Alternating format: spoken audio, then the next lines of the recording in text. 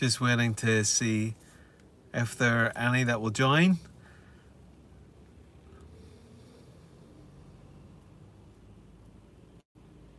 Always takes a few minutes to see what's happening, especially with something like an impromptu live like this.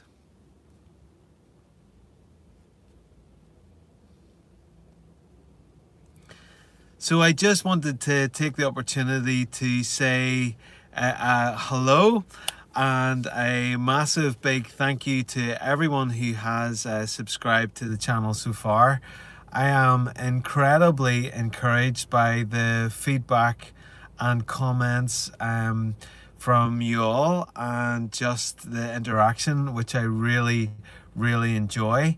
Um, I have a number of things planned. Next, what I'm going to go to is another uh, section of the patient painter, which is to look at uh, how we might mix colours and to talk about that and my thoughts behind that and how we do all of those sorts of things. But I just wanted to come on and say hello, hello, Judith. Hope you're well. Did you miss class on Monday night? Looking forward to getting back. Um, so I uh, I'm just really encouraged by everybody uh, taking the time to watch the videos. Quite overwhelmed with uh, the video about the patient painter. So thank you to everyone for watching that. I'm trying to upload different shorts and things just to just show a little bit more of, of where we can go and what we might do with this channel. But uh, my thoughts on it are that this is a resource and it's somewhere that you feel that you can input and I'll hopefully respond with videos. Um, and I appreciate that there are thousands ten thousands millions maybe of uh, painters out there on uh, YouTube but thank you for taking the time to uh, watch to like and to comment. So it's really really appreciated. So as I said we're going to start looking at mixing and how we might mix and talking about that and being realistic about that um, and in the classes that I take, I talk about the, the pendulum swing of mixing, of uh, trying to find the, co- uh, trying to find the color. I'm getting a little bit ahead of myself with this. But any uh, questions that you have for me while I'm sitting here, my daughter is currently out uh, leading a small football team, so I'm sitting here, and I thought, why the heck not? Would I not go live and interact a little? So if you've got any questions for me, please send them through now more than happy to attempt to answer them.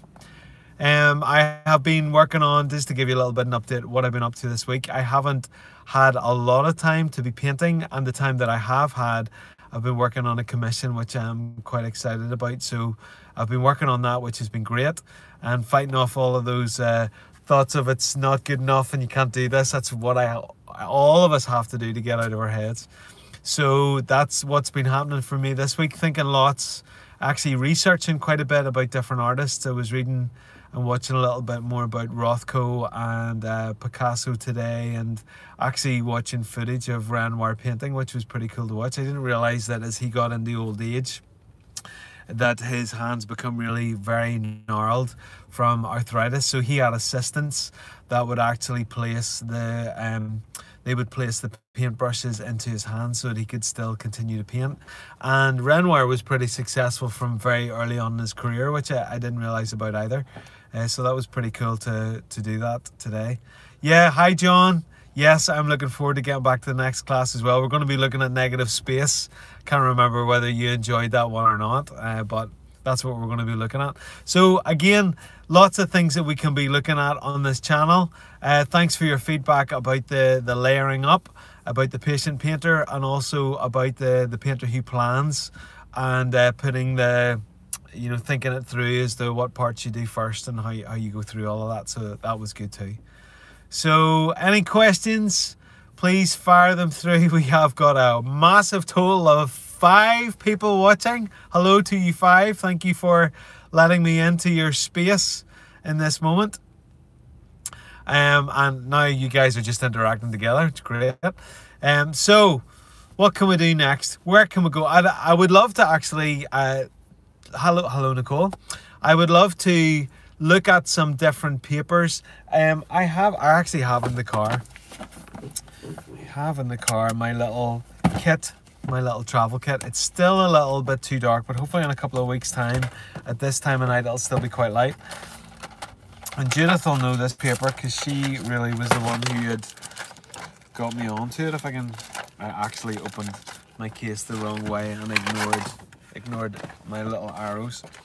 This paper here, the Bao Hong paper, um, and it's cotton and it's beautiful to draw on and um, I would really really like to try and get some more cotton paper as well so I, I just like to try out some different papers haven't used a hot pressed paper in a long time because it's really far too smooth for me um, but just all those sorts of things would be good to to explore them together and uh, as I said I'm also very aware that there are lots of artists out there doing lots and lots of tutorials but I guess you have to accept that we're all different. We're all going to do it in a different way. So, and everybody's point is valid. So, uh, do keep coming with any uh, comments, questions here for the three of you that are, are watching. I'm trying to think, what could we discuss? We will be doing a, a video on painting night scenes. Did you get the artist's grade? There are two different Bao Hong papers. The paper that I got I just got it off uh, Temu. Bao Hong. It definitely wasn't the artist grade. It was the Bao Hong pure cotton watercolor paper. Just so lovely to paint onto. John, how does 100% cotton paper compare to the Winsor & Newton type? Uh, just, you get these lovely, if I had this more in front, you get these lovely kind of, the. it feels like when you, whenever you draw the brush across the paper, it just uh, leaves it leaves its trace in, a, in a, what feels like a totally different way. But um, yeah, sorry, Judith, is that the it's the Academy paper?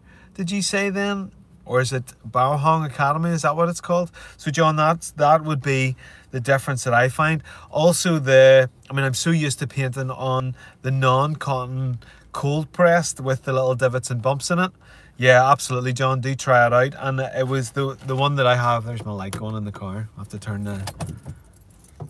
There we go, back on again.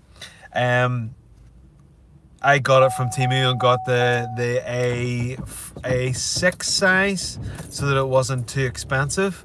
Um, and I, I, I would actually make me want to buy more. I know that Arches, as far as I know, I think Claire in the class uses Arches paper, and I know it's really expensive but I mean you get an absolutely beautiful finish. Nicole, you said the artist one is even better, but texture is closer to the rough. I'm just trying it now. Excellent. Um, it's interesting, isn't it? And you learn all of these different things. I remember when I first started to understand the uh, GSM rating and what that was about. And now I know that uh, I just don't want to go below 300 GSM because it bows so much on you, you know. And I, there's Seawhite of Brighton's my prepare my preferred type of paper, and I bought their um, acrylic paper, and it's 360 GSM, and it's all the more rigid, which is really really good. Nicole Perrin Arches, it was over a hundred dollars here. That's why I'm trying to buy hung. I don't blame you.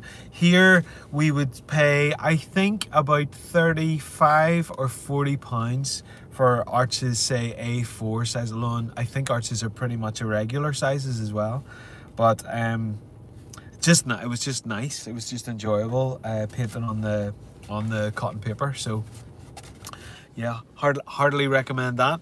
And also some of the the cheaper papers, like um, there's a company here called Hobbycraft, and they I don't know whether you can get their own brand ones now, but they were really relatively inexpensive, and I really quite enjoyed them. They were 300 GSM, and I'm trying to think.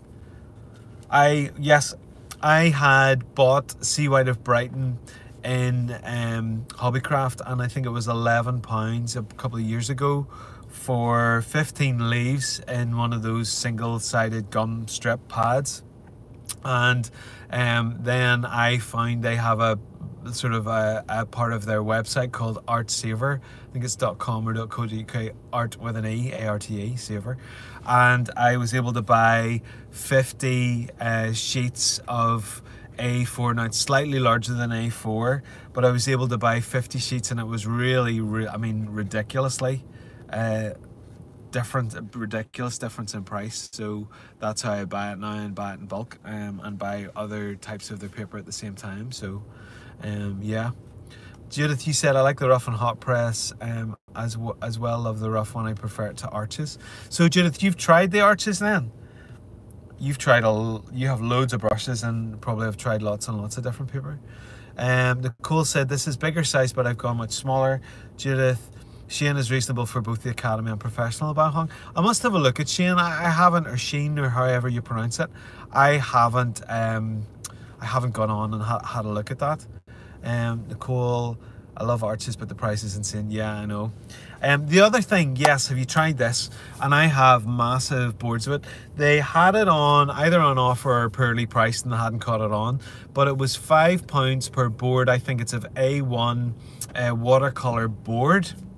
So that's not gonna bow or buckle at all. Um, and I was actually thinking, could you buy a board and just, you know, use that? Probably be quite nice to do that, but again, more expensive. It's now eight pounds for the A2, but I mean, that's not too bad, or the A1. It's not too bad. Cut down the middle, you've got two A2s for, um, what, four quid each, which isn't bad at all. Um, also in school, I saw some of the art teachers encouraging the pupils to um, use canvas. So they were actually painting on to canvas with watercolor, which actually was surprisingly effective. And I, uh, whenever I'm painting on canvas, because I'm a watercolorist, I tend to mix the uh, acrylic certainly at the start way down to a wash, and it goes on really very well. Um, okay, John said, have you done much painting with the charcoal paints you got? No, I, I haven't. Um, I had a go with them when I first got them and really liked them. I would need to be I would need to just solely focus on them. And again, that's something that I, I may, that's a great idea actually, John. Just even comparing different paints and uh, playing about with different paints. I find that I need to really, um, really like use them to get used to it. And even with a palette, like I get used to where each of the, I'm sure we're all the same, get used to where each of the colors are positioned actually on the palette. Judith said, never tried it. What's it like to paint on? You know, with charcoal pens. And um, good evening, Judith. Sorry, I missed your message. um, I must, I must show you. I don't know, Judith, whether I'd shown you those. Uh, it was a little set that had come with that Scrawlrbox that I tried, um, and it came with it was a wee set by Derwent, and it's um, tinted charcoal paints, and they they're not uh, they're not sh shiny. They're just they're just a little bit different, which um, they're fun. Uh, they're nice to use. Okay, cool. I just tried Faber-Castell Graphite Aquarelle, which is graphite you can then paint with like you would with watercolor pencils. It's quite fun. Yes, I bought a, a, pack of those as well. Really lovely. They give a really lovely effect. And um, the, what was I going to say? The Derwent, my beloved watercolor uh, pencils are the Derwent Inktense just for the sheer explosion of color that you get whenever you add water to it yeah, Judith, the board, you should try the board. I mean, actually, what am I saying? I need to try the board, but the uh, eight pounds for, I think it is A1, and there's just no buckling, so effectively it's like stretch watercolor paper. Lol, now in the conversation, I feel like I've all talked out about paper. I'm trying to think I've tried anything else. Do any of you regularly uh, stretch paper? Now, there's an artist I follow on Instagram, and he um, he he I'll get back to the Inktense Nicole in a second. He stretches I think for everything because so much of his practice is really letting the water pour onto it and uses things like clumps of snow and you know all sorts. So he really needs it to be stretched or I don't think he'd ever get it framed. The Inktense uh, Derwent ink Inktense watercolor pencils are incredible. Like I mean absolutely incredible really really good and the blocks um, there's a short on the channel there that I use the blocks for and it's just fantastic. John uh, comment stretching uh, seems like too much hassle to be honest. And Judith said no only in class. Uh, stretching I think is from my point of view too much hassle to be honest. I think you're right John. Um, I think maybe for I don't know, I was going to say maybe for special pieces, but I would actually then feel like it was too precious and it would probably stop the process for me a wee bit. Jaden Fairman, why the long face? Uh, I don't know, it's just the face that I've got. We're all very happy here. Nicole Perrin, I like to work wet, but I prefer the blocks of paper, less trouble. Yeah. But the board, uh, Lee Marks, hi. Uh, blocks are great. Uh, definitely try the board, and I think buying it in that larger size and just taking a Stanley blade and uh, cutting it is probably a really good solution too because then you've got paper that's not going to buckle but also try canvas. Try painting watercolor on the canvas and get back to me because I was amazed how well it actually goes on. It's really quite incredible let me see i'm trying to think what other media i've seen um i think daniel smith do some like watercolor sticks I think you can get. Have any of you tried the watercolor sticks?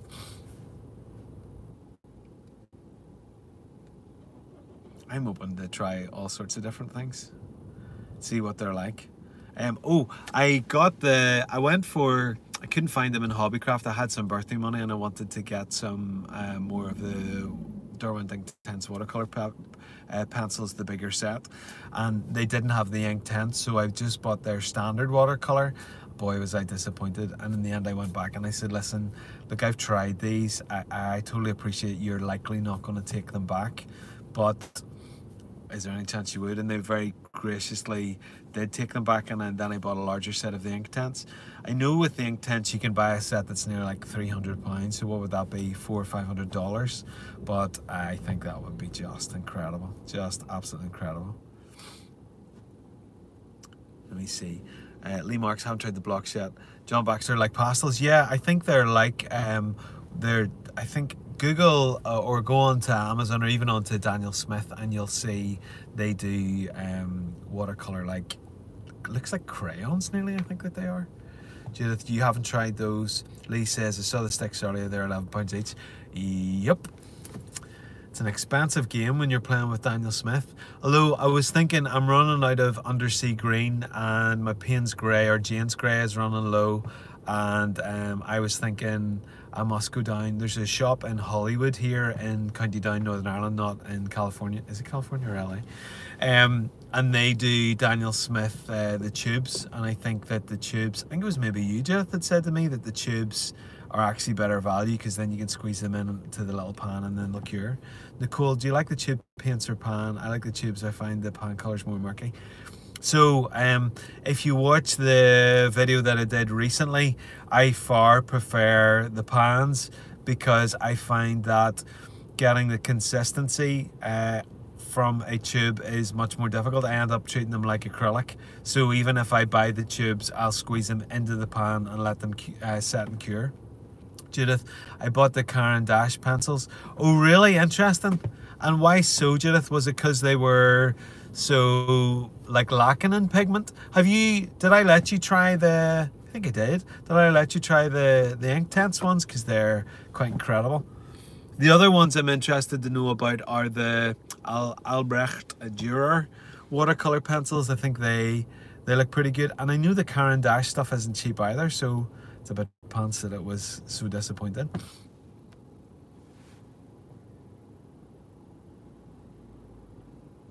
Just waiting on. I better keep. I was told why the long face, so better keep keep smiling.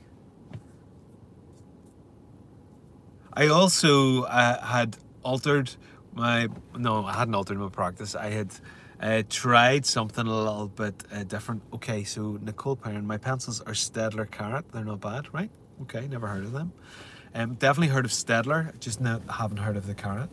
Um, I tried drawing with I in days of yore would have used pencil to underpin the the uh, watercolor, and did that fairly recently, and well maybe about a year or so ago, and really wasn't enamored with the result. I am a watercolor and ink through and through kind of guy. So um, I'll definitely keep remaining with that. Or actually in class, I had I started doing a, one of the landscape scenes I'd put up a couple of weeks ago. I just started straight into painting and then I was building up the layers painting with the, just straight with watercolor onto the paper and then using the Inktense on top of that. Judith, let me see. John said I have the Winsor Newton pencils, although they don't seem as good as the Inktense. Yeah, I know, it's true. Um, Judith, I have the Inktense, Inktense sticks, but very little pigment in the Caran d'Ache. And do you use the Inktense sticks much, Judith? Uh, Nicole Perrin, don't smile all the time. I work with someone like that's creepy. I know. I know. It's just not not believable. I remember going into a, a trainer or sneaker store um, in America, and they were just perky all the time, and it was just too much. It was just too much energy for me, to be honest. I'm trying to think oh, what other what are what other uh, ways you can what other means of watercolor that there are? Oh watercolor pens. Now toby toby sketchless uh, fantastic. I love his stuff. Um he's been doing fairly recently some videos i think on the using the watercolor pens. And I was just talking with him a little bit about that. There was a live we did together. And uh, he was using I think a little bit of the, the watercolor. There you go sending tense pens excuse me the watercolor pens Winsor Newton ones. I think they'd be really interesting to try. Um, just when painting the Belfast Cranes right okay. Yeah I, the other thing I tried in class the last time was because I had painted on or started the painting with the watercolor paint rather than drawing then used the Inktense pencils and block into the, the so it was not wet on wet but you know that kind of idea and it was really interesting using it that way and then even going back and applying more water onto it to, to just let it explode so it was good so I'm, I have to say, totally delighted with this uh, live. Last time I did this, I think there was two people on, so this is great. Lee Marks, Toby did some trials recently with the pens, mixed results. great pun, great pun. I d- I don't know what I think. I, I would like to get them to try them. I don't know uh, how I would get on with them. I think, I don't know. Really, although really loved the watercolor pencils and the blocks, the intense ones, absolutely fantastic. I have the, this is completely different, but I have the Pro Markers, the and Newton Pro Markers, which I love. Haven't used them for a while, must must use them again. So there's a there's another video. Nicole Perrin, have you tried instant coffee? Uh, beet juice and tea, they're fun to try. I want to try the graphite mixed with watercolors and maybe the metallic colors. Uh, no, haven't tried the instant coffee, although have thought of it. Sometimes you know the moment where you have a cup of tea or coffee beside you when you're painting and then you, you stick the brush in. So you've actually got some uh, cerulean blue and some fair trade coffee in going onto the onto the page. The metallic colors, I don't know. I'm too much of a purist for that. I um, had got, had subscribed to Scrawlrbox, which they're worth checking out. There's Scroll S C R A W L R box, Scrawlrbox, and I had got a couple of their boxes. The last box that they did was this uh, pearly metallic kind of girly colors and I just have no use for them so I thought nah if this is going to be the kind of stuff that we're getting I don't don't really think that it's um, for me and also I'd find that um, some sales and things were down so I just didn't want to waste the money to be honest either. Judith, have I tried, Kur is it Kuretake you pronounce that? No, never. Judith, what are they like? Um, John, is beetroot coffee permanent when it's dry? I would I would assume it probably is because I mean even look at what beetroot does to uh, anything it's beside whenever you know you lift it out of the pickle jar. It does sound like fun. Um, it does really does actually. It'd be interesting to see. Could you layer up too? Could you? could you have? could, you could you could maybe have like a mocha, uh, a latte, a skinny latte, an americano, uh, a double espresso, and see see how you get on. Does sound like fun try turmeric. Ooh, what's do you mean like uh the well obviously you mean the spice and like it's probably sa- although saffron be blooming expensive to use. Judith, Kuretake can be used as watercolor but but can be more like gouache. Ooh, never tried them. Nicole, this year I decided to try a lot of new stuff. I haven't even used masking fluid. No, I've ne- I have never never used masking fluid before either. I've bought some but never used it and I never used black or white so I'm going going going out of my comfort zone. I like using, um, yeah, the spice. It stains everything it touches. I've never had ever reason to use turmeric. Oh, yes. John, you're inspiring us all. Um, so the Kuretake, so they, Is it kuratake or is it kuratake or kurtak? Probably you could pronounce it whatever way you want. Um, just what was I going to say? I use Indian ink sometimes, and Indian ink added in with Waterskill. I bought uh, acrylic ink one time. Wasn't overly came with a dropper. Didn't really know how to use it or what to do with it. So that was uh, fun to do. I don't really use the white much either. Nicole use blacks all the time. The beloved Payne's Grey. Love a Payne's Grey. Uh, but I would wouldn't really use white. Sometimes I would use the buff titanium, I think it's called, in uh, Daniel Smith for cream buildings and things like that. Turmeric is nice on fish. Do you know what I love? Paprika. Paprika would be brilliant. I love the look. John says I love the look of gouache paintings. I don't know. I don't know. I just, I, I don't really understand gouache. It sounds like it's just everything mixed with white. I mix my blacks, I'm old school. You mix your blacks. So, good question here. Nicole, what do you mean by mixing your blacks? Like I, so I I would get an ivory black and if I have no Payne's grey then I add an ultramarine or cerulean and you know play about with it to get those kind of things. But I was just thinking as in like get it from scratch. I wonder what black's actually made of. You'll bring the Kuratake or Kuratake or Kuratake next week to class. Tremendous. I'd like to I'd like to see what they're like. Wouldn't it be great if you had an endless budget and you could just buy all sorts of different things? There was a, a type of watercolor. Is it on Jackson's um, online? Or are they in London? And or is it Sennelier? I think it or Sennelier are they more pastels? But there was some type of watercolor just looked incredible. The watercolor Winsor and Newton professionals, I'd really like to give them a go sometime. Is that Hungarian or smoked paprika? I'm thinking smoked paprika, Wayne. Good good evening, Wayne. Good to see you. Well, not that I can see you, you can see me. Judith, black made with the primaries nicer. Ah, okay. So you do you mean like having an ivory black and then adding a color into it is nicer than the the likes of the bot grey or Payne's grey? Lee Marks. A lot of Etsy sellers have handmade watercolors. I ordered some last week and awaiting delivery. Yeah, there's a girl Madeline Carey and Amberlane Art, I think it is on Instagram, and I know that they promote and use lots and lots of different uh, handmade watercolors and i remember i think in school they have the the it's like a big pumice grinder thing that they grind down the pigment and then they add an arabic gum i think to get it to stick together so it's pretty interesting um, Nicole, I use blue and red and whatever else I need to make the shade of black I need, whether warm or cool. Oh, impressive, impressive. John, are we making a palette of foodstuffs, squid ink for the dark colours? There's bound to be a video somewhere on YouTube that somebody's done doing watercolor with um, like base products like squid ink and your turmeric or saffron or pap paprika or whatever. Coffee. Lee Marks.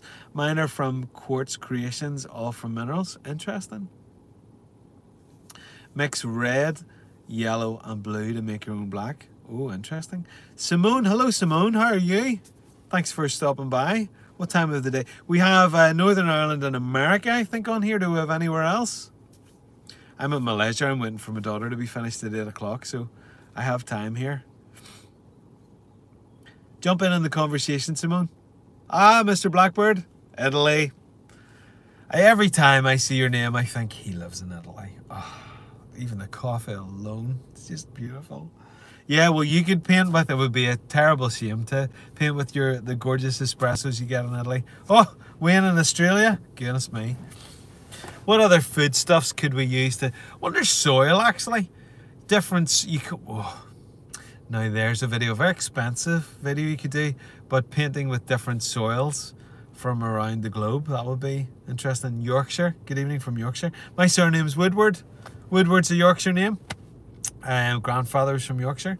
Nicole, depending which blue or red or yellow you use gives you the warm and the cool. Very interesting. Well, I am learning something new here.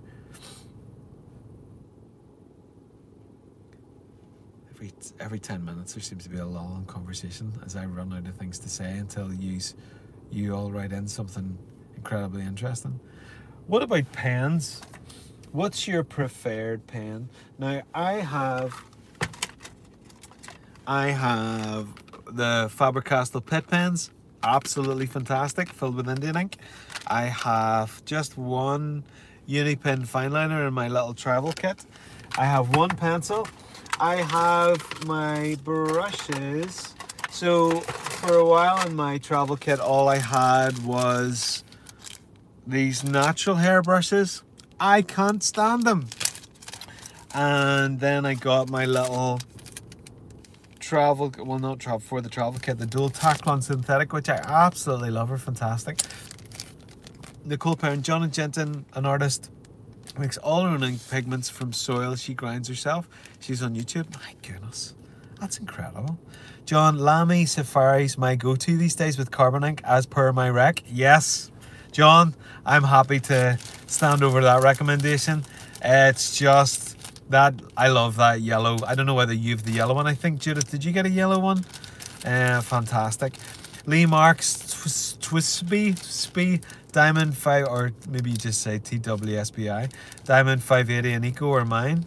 Judith says my pet pen stopped working after two weeks, so now using Unipen on all.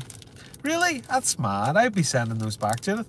Uh, Nicole Perrin, are they squirrel? Squirrels really so soft, hard to use. I think they that just says natural hair. I wonder what will tell me on the back. No, it just says natural hair. But I think they probably are squirrel. I don't like them at all. Uh, John, I have an extra fine nib and fine. Oh, he is too. Just like there are two. John always sets up with two water pots, which is pretty genius. Um, but two pens, eh? Two pens, John. Um, you got the yellow, yes, because I remember. I, no, it wasn't. I was the the French lady in the class. Oh, I can't remember. Christine, Christine, she has a. She bought the yellow one. Uh, that's great. You got you have one of those too. John, room for a bigger nib in my collection, perhaps.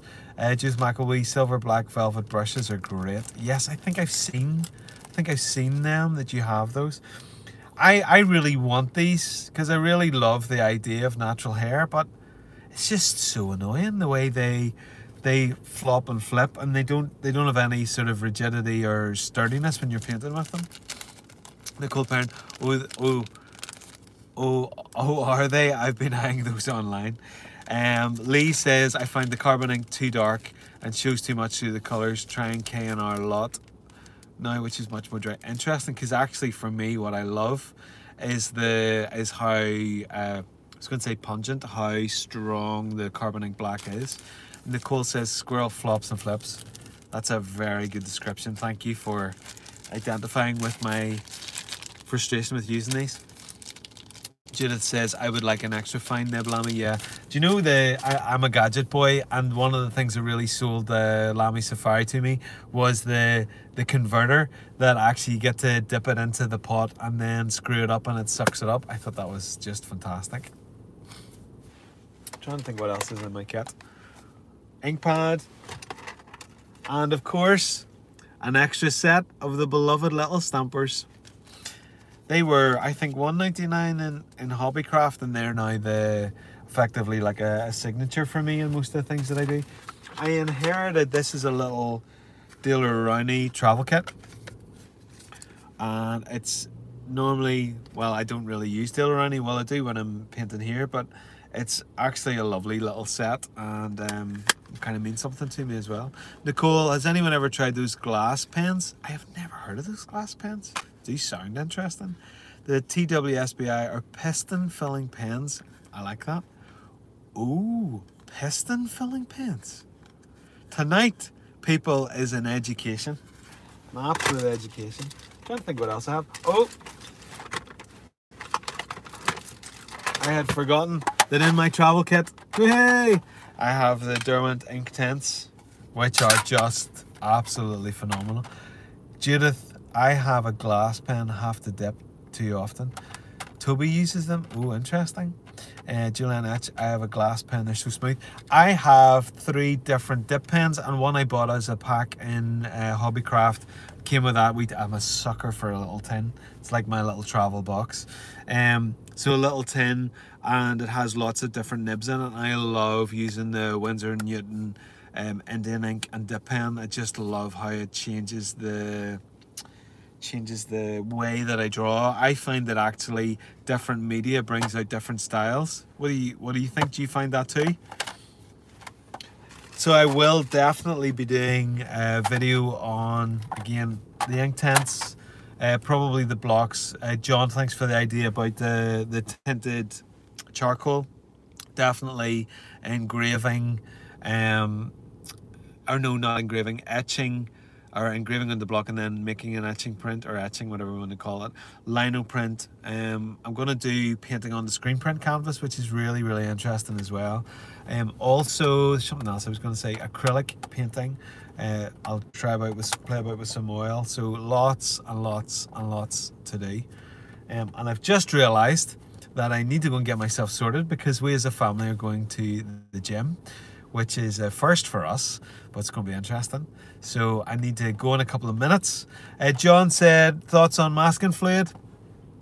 I've never used it. I I think I like the idea better of leaving the negative space myself rather than having to use a substance to do that. But I've never tried it, so I would need to try it and then get back to you. But interested, but I've learned a lot about the piston filling pens, glass, glass pens. Let me see. You ever tried the ruling pens? No, never tried ruling. Never even heard of ruling pens. I think we should do this again. This has been very informative. Nicole, I have to learn urban scenes. I do landscape, but buildings and cars are difficult. A couple of videos and tricks would help. Uh, yeah, sure. I uh, urban sketching is effectively what I do. I tend to leave cars and uh, people out, so uh, there you go. Judith, masking fluid can be handy in floral paintings. Interesting. That's right, you took a class on doing botanical art. And Simon says, I love the vacuum filling TWSBI so under charge. You guys, Simon, you're a gadget freak as well. Nicole, that's why I'm here. Uh, Julianne, uh, look them up. They look so cool. I've I have them, just not tried them yet. Ooh. Isn't it far too easy to buy so, uh, to just keep buying materials? It's just the easiest thing in the world to spend a clean fortune, isn't it? Right, I need to go. Uh, absolutely delighted that I, I actually have to put an end to this madness because I have to go and get ready, get myself ready for the gym. But uh, so the point of uh, fountain pens hobby is a disease. Yes, Toby, uh, Mr. Uh, Toby Hassler has a an addiction problem with pens. So just I started this off by saying thank you to everybody who has subscribed really quite quickly to the channel for the views. I really appreciate that. You know, time's precious. So thanks so much for being here tonight, for chatting, for all that we've learned, uh, just for your comments and and getting to know you all. It's brilliant. Thank you. Um, John says Hobbycraft is a dangerous place for the credit card. Yes, sir, it is. Uh, Julianne says they're like a reservoir of ink, the, the piston drawn up a ticket. Julia McAwee, I'm writing my list for the States. I think I'd like to write you a list for the States as well. And Simon says, put some put some likes to Colin. I appreciate that. Thanks very much. Okay, good evening, everyone. I will uh, put this video up and let it be live. Have fun in the gym, Simon. Fun? I don't think so. I can run a bit. My fun in the gym is going into the sauna. So anyway, anyway, uh, have a good uh, morning, afternoon, or evening, whatever it looks like. But thanks very much for all we've learned and all the comments. Great stuff, and over and out.